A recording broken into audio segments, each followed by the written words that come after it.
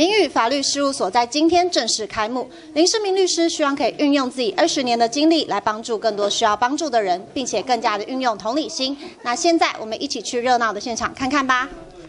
二零二二年二月十三号礼拜天上午，位在台中地方法院对面的明宇法律事务所正式热热闹闹的开幕。担任法官将近二十年的林世明律师，去年八月才从台中地方法院劳工庭长转任律师工作，还不到五十岁，可以说是年轻、积极、善良，又有慈悲心跟服务热忱的林世明说，他离开很多人都向往的法官工作，跟着伙伴吕宗化成立律师事务所，就是想以多年来的法律经验，寻求关怀更多人的管道，帮助在司法中彷徨的普罗大众。我在法院工作了将近二十年，一直期望能够从公益行事进而到慈爱待人。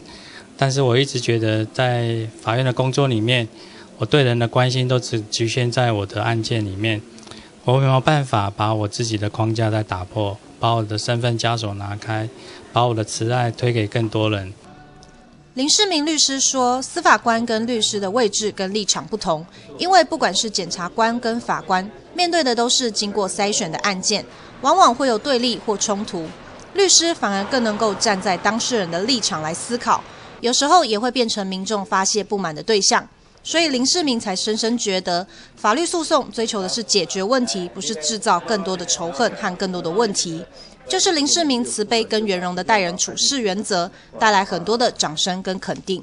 尤其哈，市民庭长之前在劳工庭担任庭长，处理劳工事务哦，这个跟市府哦很多劳工的政策、劳资的和谐也有非常大的关系。所以我们也非常感谢哦，庭长对我们司法界付出。而市民庭长这一次下来当律师哦，其实也是呃，整个也是说台中市民的福气。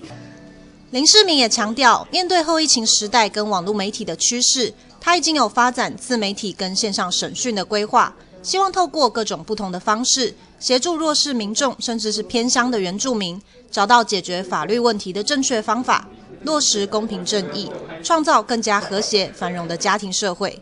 记者李嘉金肖朝全台中报道。